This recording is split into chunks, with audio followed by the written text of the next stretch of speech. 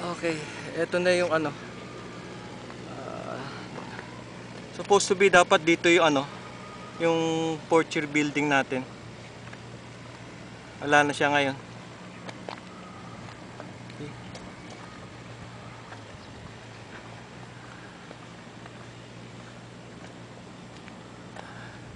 Subukan kong i-trace saan yung mga ibang pa mga building natin dati.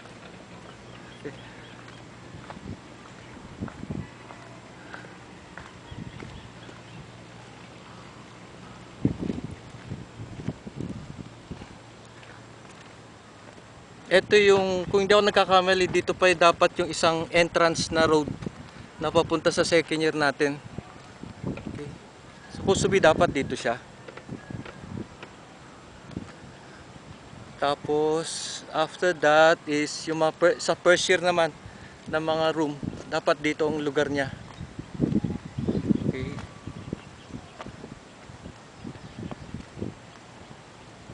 But dito sa yung structure na nasa harapan na bago, yan yung clubhouse. Supposed to be dapat yan ng ano natin. ah, isa sa mga venue na pwede nating ah, gamitin para sa reunion natin. Okay. At dito sa left side, ito sa mga ah, drainage pipe na to, I guess ito na administration building dapat eh. Admin, registrar, guidance, library. Quad, I think ito dapat ang quadrangle. Ito dapat yung lugar ng quadrangle. Okay. I'll try na makapunta tayo. I hope may meron pa akong battery para hanggang sa pupunta tayo sa sa chapel. Makikita nyo ngayon chapel, ibang-iba na siya. Hindi na siya yung katulad dati. Binago na nila structures. Ito nga palang clubhouse, ah, tat- tatlong ah, tatlong lugar yung pinaparenta. Pa, it's a package deal. Isang main pavilion tapos merong mas malit na konti na yung malaking pavilion sa around 120 persons na pwede ah, i-accommodate niya. Yung mas maliit naman sa around mga 100 ano ah, persons. Tapos yung may swimming pool pa na may gazebo. Okay. So itong road na to, kung tutuloy-tuloy to, ito na yung pa-exit papuntang bagong baryo.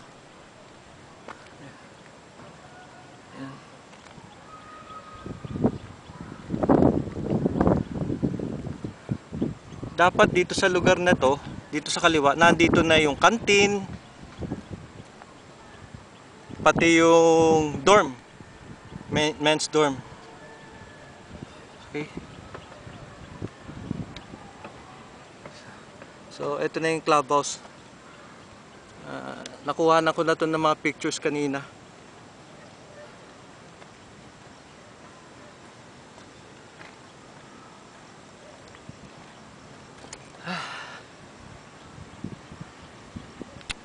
Kakalungkot, sayang, sayang.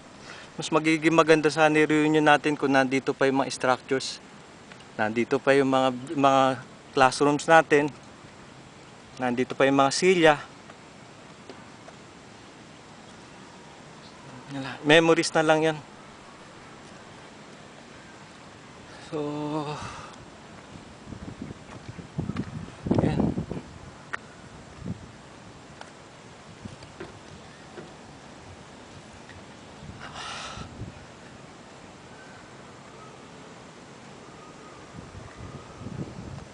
Nakakalungkot na ano. Siguro kung maayos yung pagkakamanage before, magtutuloy-tuloy yung ano, eh, yung Araneta. Yan, wala na eh. Anyway, ito na, papunta na akong chapel. Ah, ito na lang yung, I think, yung landmark na pwede mag-ugnay sa atin. Ito yung area ng chapel before. It is ngayon, ni-renovate na. Maganda na siya ngayon, ang ganda tignan. Ah, Adobe finish siya. Tapos maganda, maganda yung ano.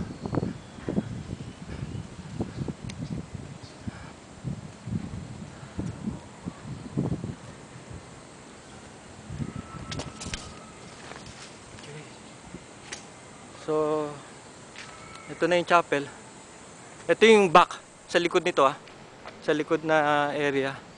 Tapos try natin pumunta sa bandang kanan para maibidyo.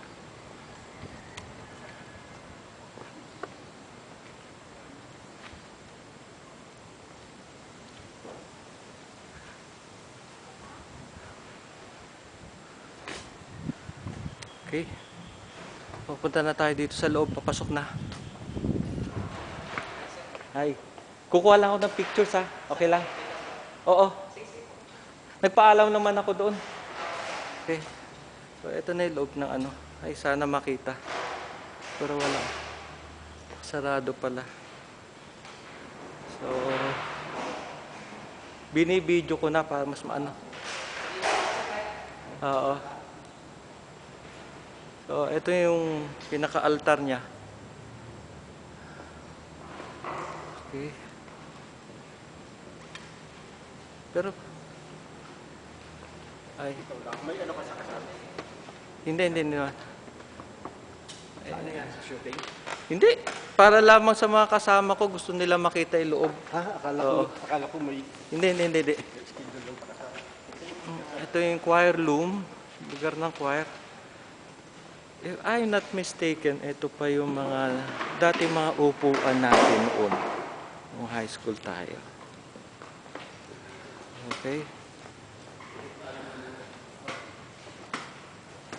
Balak sana kasi namin rentahan yung ano, yung clubhouse. Re-rentahan sana namin. Kaya sabi ko, sa reunion. Magre-reunion sana kami dito. Taga-Araneta kami dito sa high school. Dito kami nag-high school. So, eto na yung ano, simbahan. Ano?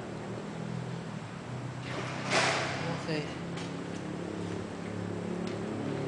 I don't know, Pedro. Ma madilim sa loob eh. Hindi nakabukas yung mga ilaw at saka ano. Naglilinis sila yung preparation. Siguro May, may, may wedding eh. Okay.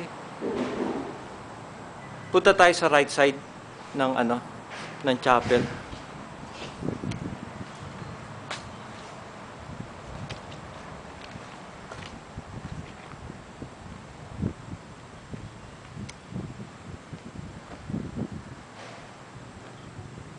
Ito na yung right side ng chapel.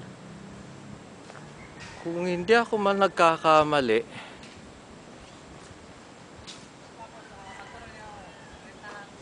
Ha?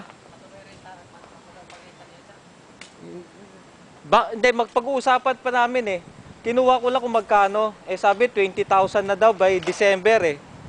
Tapos yun. So, kung gusto ng mga kasama ko, ipapareserve ko yung ano. Ay, ayun pa yung grotto.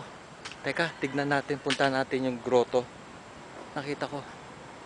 Yun yung I guess hin- hindi, hindi, hindi.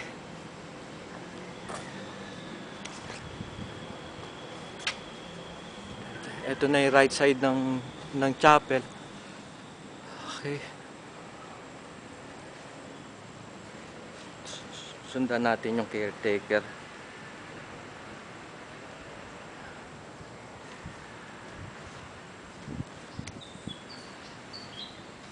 Wow! Oo. Batchmate. Ito na ngayon yung grotto. The original. Hindi nagalaw.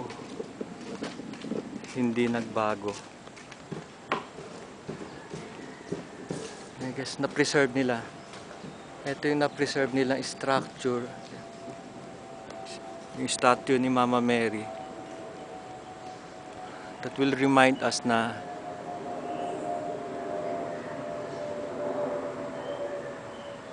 reminder ng ating pinang ng high school life natin. no?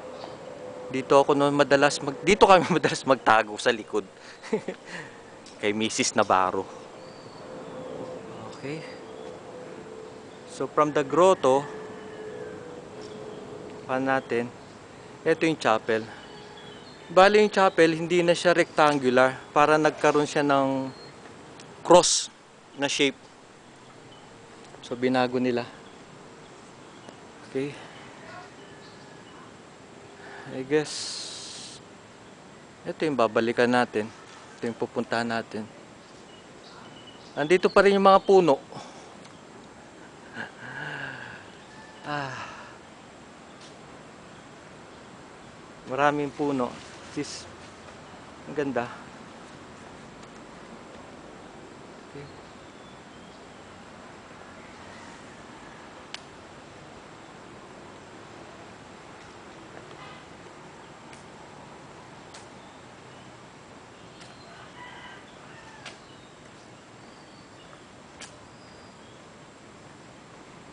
Okay.